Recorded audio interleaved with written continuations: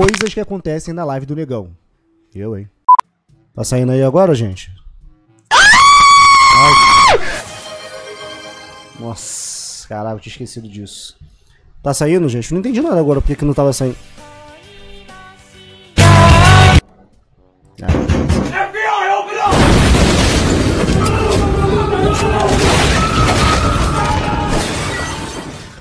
Eu sempre vou olhar pra porta, não adianta, cara. Não adianta. Não adianta. Todas as vezes eu vou olhar pra porta. Não adianta.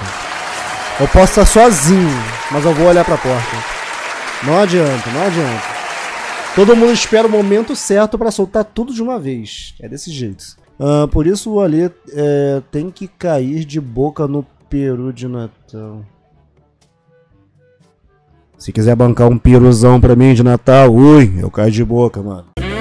Exatamente, tem que ser tem que ser um piruzaço, meu irmão. Tem que ser um peru do tamanho do meu braço, tá ligado? Ai, papi, para! Klaus. Anim... Ô, oh, caraca, agora que eu vi. Por que, que não saiu o, anima... o A ali, cara? Eu botei. Eu escrevi. Ó, tá vendo? O teclado já tá me trolando. Aham. Uhum. Animação. Animal são, seu animal. Calma, cara. Oba. Oi, Xandinho. Como Oi, vai? Xande. Minha bem. amiga veio na minha casa querendo fazer pimba-pimba. Aí fizemos anal para não engravidar, só que a vagabunda não limpou. Ou seja, meu pau saiu cheio de besta. É fora.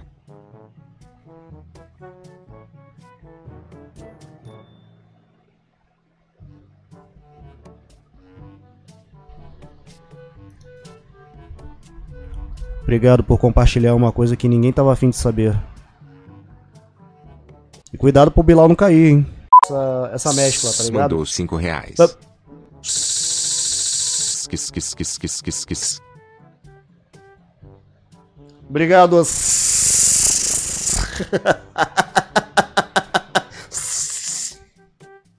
Manda mais. Alexandre, você é homem?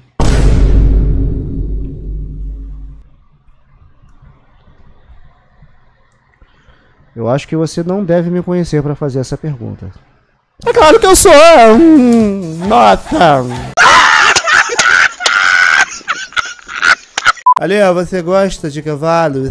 Não, eu gosto de cavalos, mas eu nunca montei no cavalo. Eu tô com vontade, talvez, de montar no cavalo. Na parte de cima, é claro. Ui. Ali pensou em fazer um canal de react no YouTube. Não, não, não, não penso em fazer não. Isso é conteúdo de quem rouba conteúdo dos outros. Isso não pode porque é errado. Isso é um conteúdo criminoso.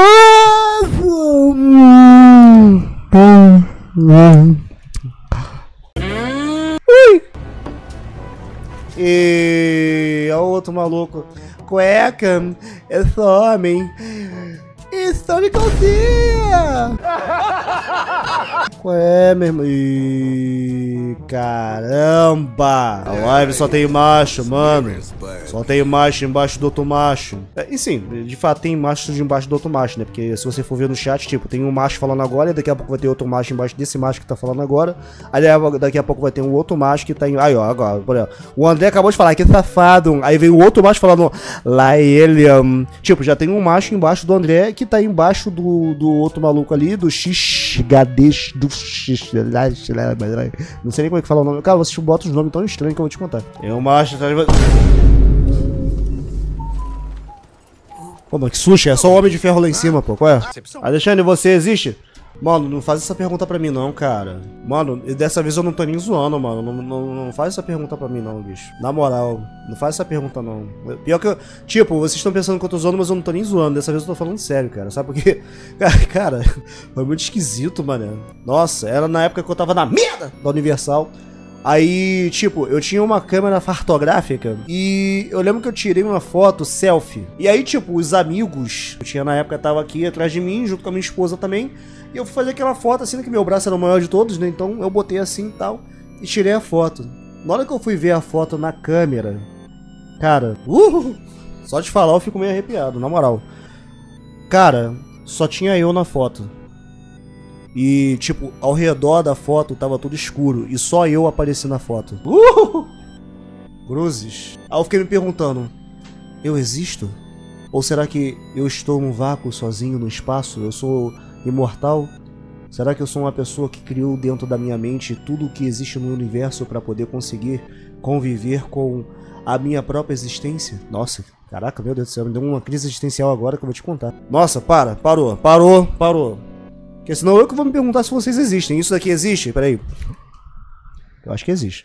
Tá muito grosso, mano. Ui. Eu não tô zoando, não, tô falando sério. Cara, foi uma coisa assustadora, mano. Tinha umas 10 pessoas. Aquela foto, estilo foto, né? Que a gente faz selfie e tal. Aí fica as pessoas atrás de você. Eu fiquei um pouquinho mais à frente. Eu tirei a foto e só saiu eu na foto. E ao redor tudo escuro. Literalmente parecia que eu tava.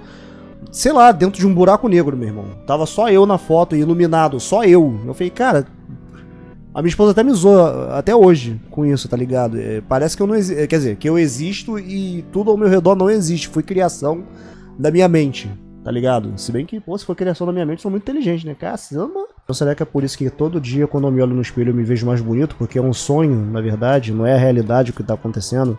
Porque a realidade, na verdade, eu sou feio para um caramba, mas, enfim. É incrível, quando eu me olho no espelho todos os dias eu tô muito mais gostoso e eu quero me pegar toda hora. É, isso explicaria muita coisa. Agora que eu falei isso aqui, eu lembrei que antigamente, quando a primeira vez que eu, que eu, que eu falei com o Fabrício lá no grupo, eu ouvi a voz dele. Eu achava que ele era o maluco do, do, do Tu é Gay, mano, mano. A voz dele na época era parecidona com a, com a, com a voz do maluco do, do, do Tu é Mano, tu é gay, mano? Tu tá ficando doido? Mano, pare. Mano. Tu tá ficando doido? Não curto gay, não, mano. Ele... Isso só porque eu tava testando ele. Bom, é isso, gente. É... Cheiro de pica de saco de macho. Caraca, acabou saindo de novo aqui, mano. Como é que, como é que faz uma pica de saco de macho. Cheiro de pica de saco de